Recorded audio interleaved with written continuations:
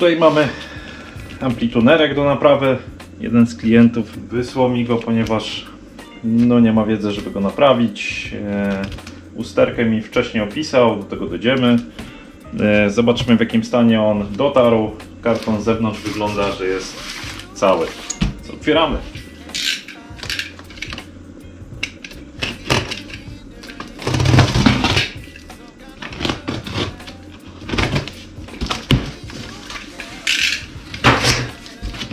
Tu mamy?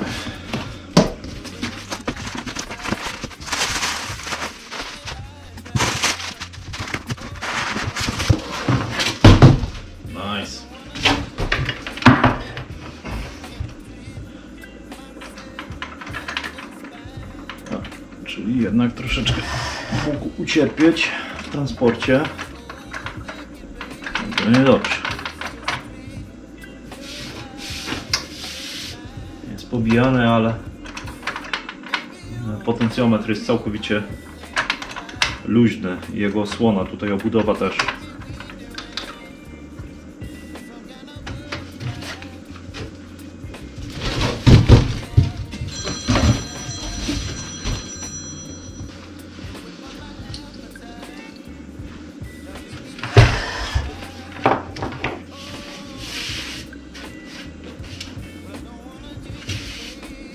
Amplituner według, no tutaj też jakieś ryski. Amplituner według zapewnień e, klienta jest od nowości u niego. Zobaczymy co z tym da się zrobić. Dobra, rozkręćmy, zobaczmy co to jest.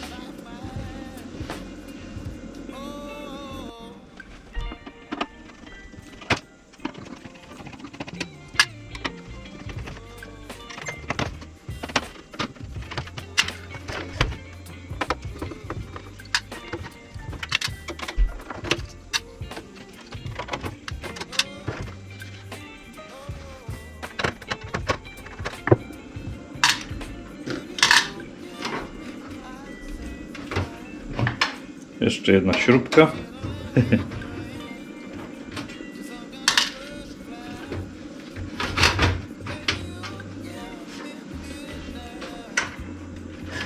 Okej, jesteśmy w środku. Widać troszeczkę kurzu. To jest dobry znak. Jest szansa, że nikt przed nami nie był. nie powiedziałem jaki to jest model Yamaha.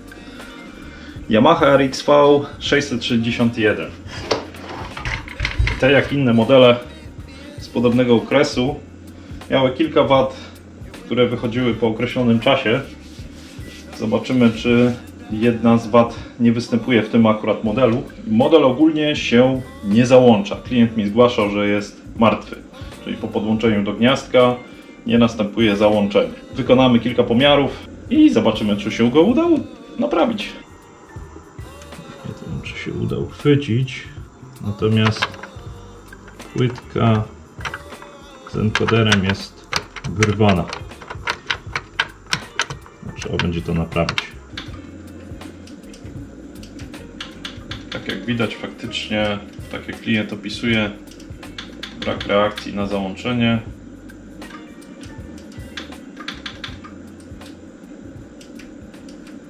Spróbujemy przywrócić amplitunerowi ustawienia fabryczne. Zobaczymy, czy to się uda. Naciskamy tą kontrol oraz master. Niestety zero reakcji. Ok, no to pozostaje nam tylko diagnostyka. Zasilacz, pomierzymy wszystkie napięcia, zobaczymy e, czy wszystko występuje. No i profilaktycznie wymienimy kondensator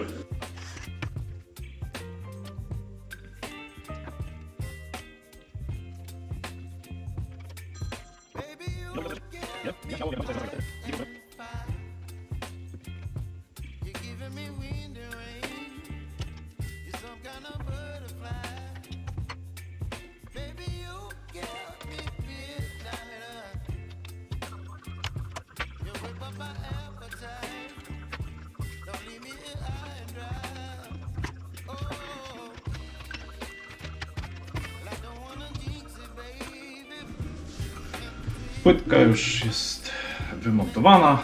Jak widać troszeczkę przekurzona jest, także ja może ją najpierw przeczyszczę, aby widzieć dokładnie co się dzieje i obejrzymy ścieżki. Pomierzymy kilka elementów i wymienimy słynny kondensator 22 nanofarady.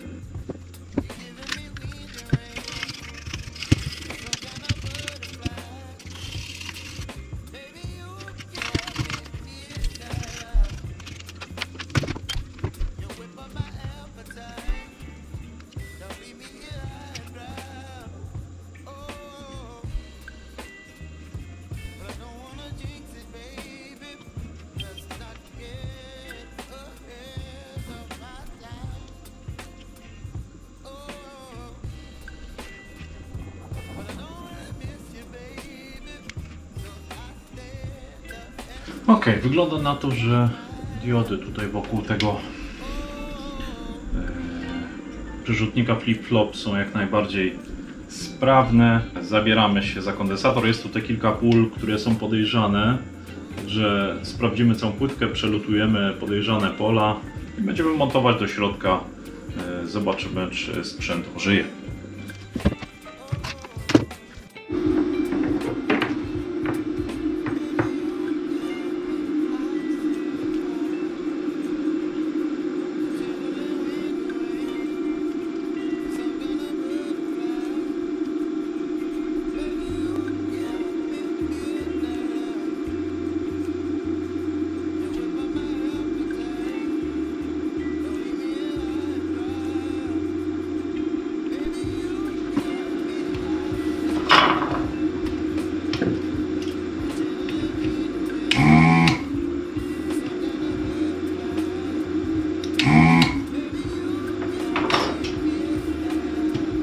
Ok, zrobimy. Kondensator jest wylutowany. E, zrobimy sobie pomiar tego kondensatorka.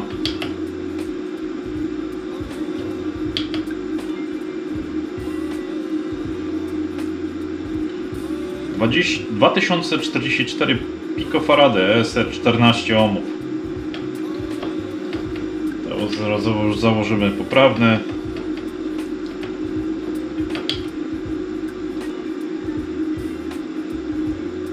Jak widać 22 nanofarady, tyle ile powinno być.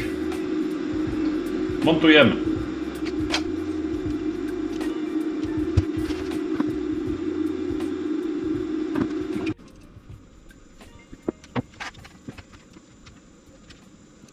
Ok. Amplituner już został złożony. Dwa razy się upewniłem, czy wszystkie połączenia są na swoim miejscu. Jest tutaj sporo różnych połączeń, sporo taśm. E, Trzeba je sprawdzić, czy wszystkie są dobrze dopchnięte w tych gniazdach. Tym luźnym elementem zajmiemy się dopiero po usunięciu głównej usterki. Czyli co? Robimy próbny rozruch na żywo.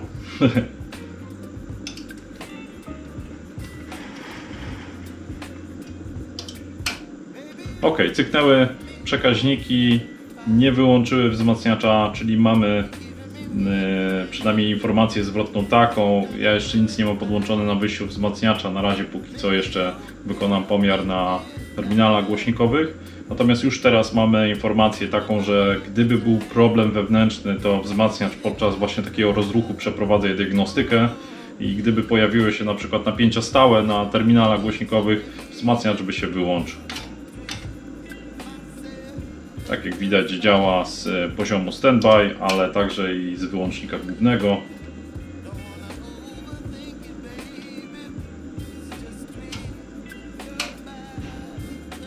Ok, podłączymy kolumny, posłuchamy co ewentualnie się wydobywa z e, tego wzmacniacza.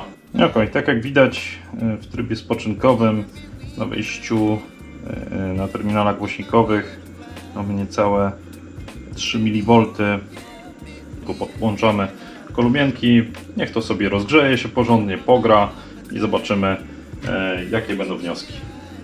Ok, zajmiemy się od razu tym luźnym elementem. Widzimy, że po zdemontowaniu gałeczki jest nakrętka, którą należy dokręcić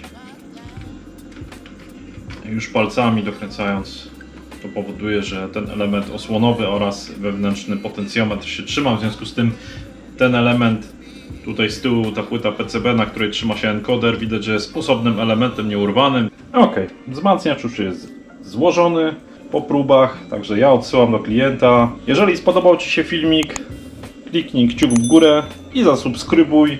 Do zobaczenia do następnego filmiku. Cześć! Jeżeli spodobał Ci się filmik, kliknij, klik, kliknij